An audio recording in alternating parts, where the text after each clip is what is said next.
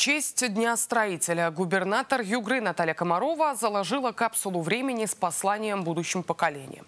Этим жестом глава округа дала старт строительству окружного лицея информационных технологий в Ханты-Мансийске.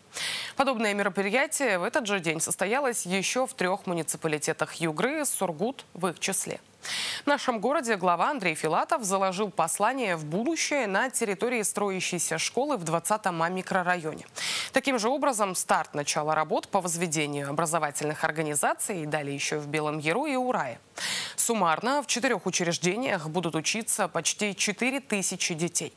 Капсулы времени наши потомки откроют через 50 лет, 1 сентября 2073 года. Какие пожелания будущим поколениям были оставлены и когда откроется школа в 20-м а микрорайоне Сургута, знает Мария Ливанян.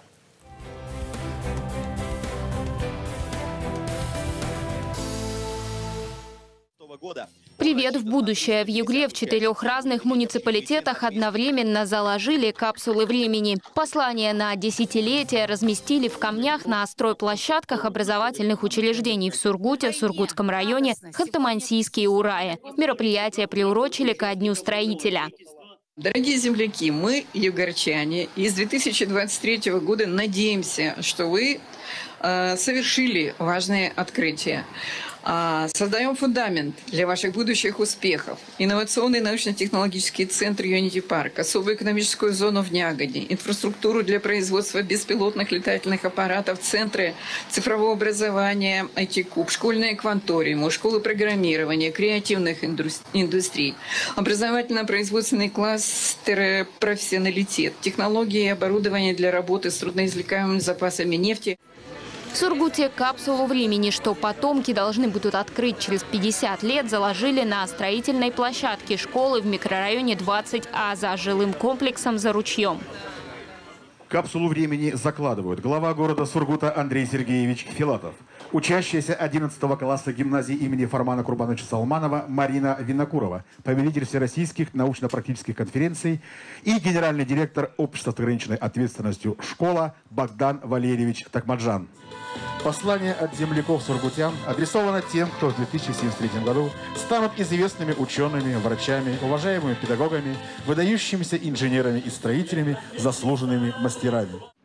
Будущее за молодежью той, что через несколько лет только пойдет в школы, в том числе, которая возводится в 20-м А микрорайоне, и той, что сейчас открывает себе двери во взрослый мир. Как отметила губернатор Наталья Комарова, их участие в закладке капсулы времени важно, ведь именно они через 50 лет смогут оценить, удалось ли достичь поставленных целей. Я очень рада, что она э, открытая, публичная, и э, такое большое количество людей, в том числе и детей, э, подтвердят, что да, это было. И да, мы так решили. Для меня это очень ценный момент, потому что ну, такое, такое бывает не каждый день, это очень редко. И мне кажется, значимо вот именно в эмоциональной части.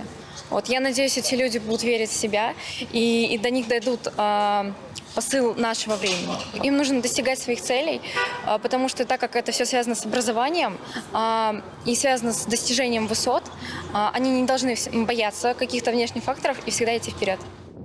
Новую школу на полторы тысячи учеников, в основании которой легла капсула времени, возводят по концессионному соглашению. Объем инвестиций более двух с половиной миллиардов рублей.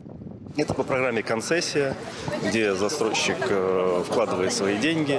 На этапах э, реализации мы финансируем. И потом в пределах э, определенного времени, около 7 лет, будет еще содержать и обслуживать школу, чтобы так сказать, выполнять все гарантийные обязательства. Инструмент новый для Сургута, в связи с тем, что только одна школа у нас уже действует по концессии. Конечно же, были вопросы, но получается уже все детали доработать. И я надеюсь, что все проще и проще будет применять менять этот подход.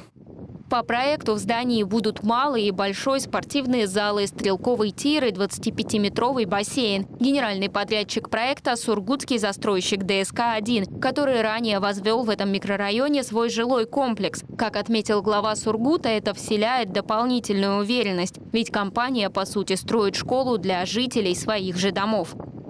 Этот микрорайон мы застраиваем э, уже 2013 года. Да. Первый дом был возведен в 2013 году.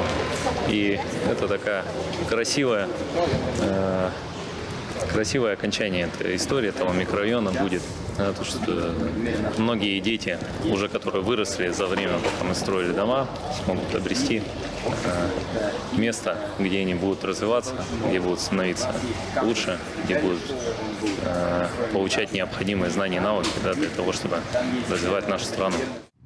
По планам застройщика, новую четырехэтажную школу площадью 32 тысячи квадратных метров сдадут в конце декабря следующего года. Работы на объекте уже ведутся. Предполагается, что в 2025 году образовательная организация распахнет двери для юных сургутян. А вот капсулу времени откроют через 50 лет, 1 сентября 2073 года. Тогда в первые классы пойдут дети, рожденные в 66 году. Это теоретические внуки и правнуки наших современников сотрудников. Каким будет Сургут спустя полвека, остается только прогнозировать и мечтать.